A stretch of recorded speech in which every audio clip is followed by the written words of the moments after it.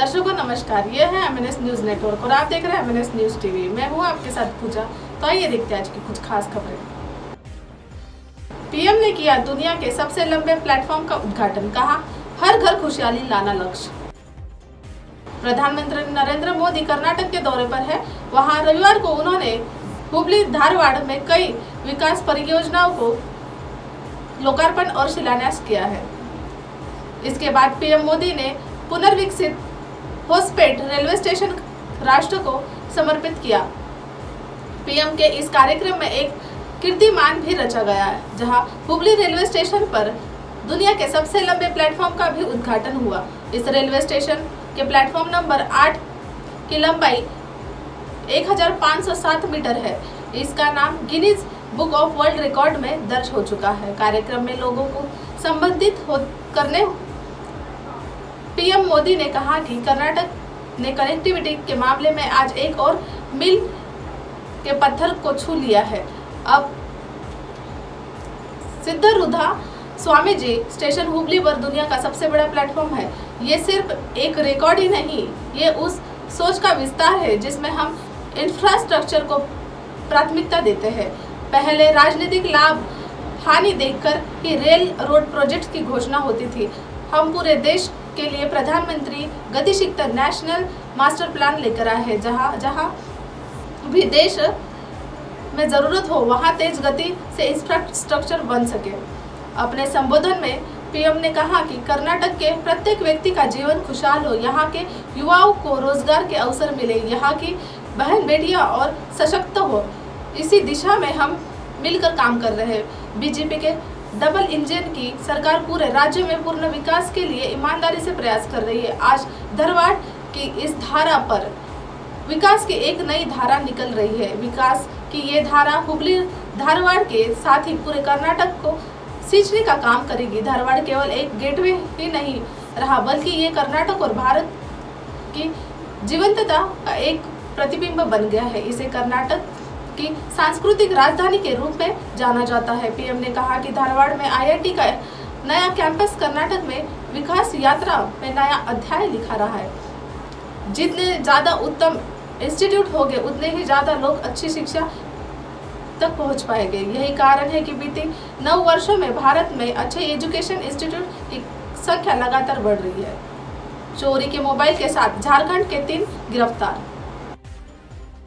चोरी के 31 मोबाइल के साथ सिविल लाइन पुलिस ने झारखंड के एक नाबालिग समेत तीन लोगों को गिरफ़्तार कर लिया है। नाबालिग और युवक झारखंड से आकर चंपा में किराए का मकान लेकर रहते थे। चंपा से वे ट्रेन से शहर आते थे। तीन बाजारों में भीड़ का फ़ायदा उठाकर मोबाइल पार करते थे।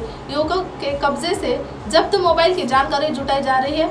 एसपी संतोष कुमार ने सिंह निर्देश पर सिविल लाइन थाने के जवान गणेश चौक के पास फेरी वालों की जानकारी जुटा रहे इसी दौरान एक युवक ने खरीदारी करने आए एक व्यक्ति का मोबाइल निकाल रहा था। इसी लाइन थाने में पदस्थ आरक्षक विकास यादव ने इसे देख लिया। तत्काल मोबाइल को वापस कराने के बाद जवान युवक को थाने ले आए। या पूछताछ में युवक ने अपना नाम शेख मुल्कराज, निवासी मोतीजहर, तेलझरी जिला साहिबगंज, झारखंड बताया। कढ़ाई करने पर उसने अपने साथी शेख बादल निवासी मोतीजहर तेलझरी जिला साहेबगंज, झारखंड व एक नाबालिग के साथ चंपा में किराए का मकान लेकर रह रहा है, बताया।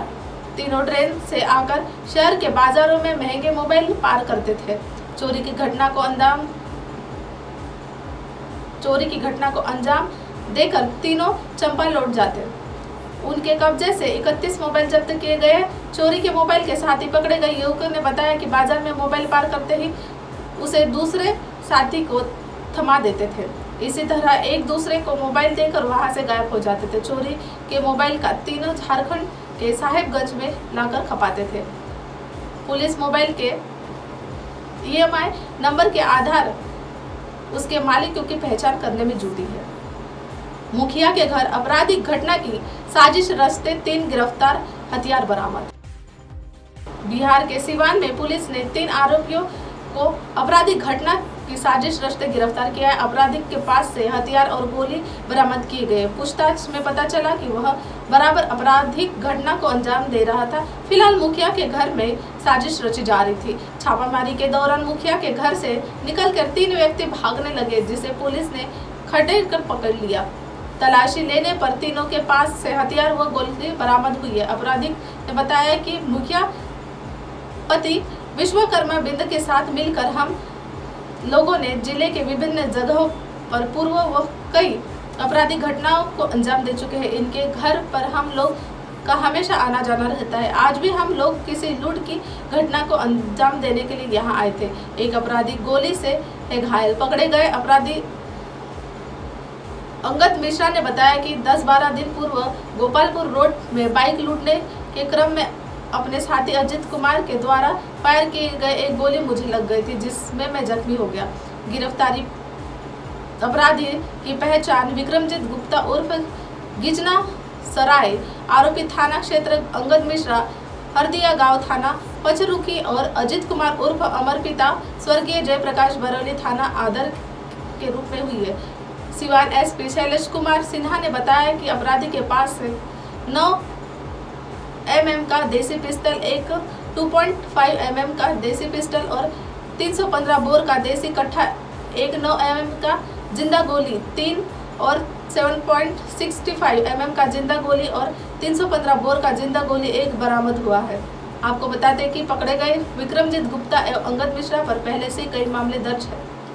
अब आप हमारे चैनल को आपके मोबाइल पर भी देख सकते हैं। मोबाइल ऐप पर देखने के लिए प्ले स्टोर से MNS news TV apps download करें। इंस्टा लिंक ट्विटर हाई कुक फेसबुक और कई सोशल मीडिया के प्लेटफॉर्म पर हमारा चैनल उपलब्ध है। आप इसे यूट्यूब पर भी देख सकते हैं। आप हमारे चैनल को लाइव भी देख सकते हैं W W W dot M S news TV dot com पर। फ़िलहाल वक्त हो चला है। दर्शकों ब्रेक का ब्रेक से लौटने के बाद देखेगा। देश और दुनिया की तमाम खबरें। बने रही है एम न्यूज़ पर। नमस्कार।